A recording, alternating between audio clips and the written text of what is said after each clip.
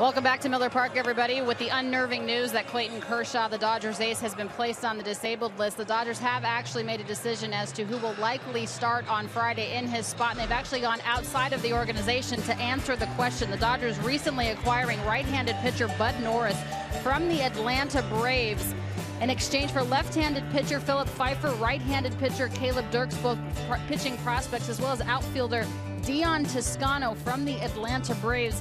Bud Norris, of course, went to college in California, started the season as a starter, went to the bullpen, but has pitched well as of late in his last five starts, an ERA under two and a half, guys. So Bud Norris, although not official, will likely make the start tomorrow in Clayton's spot.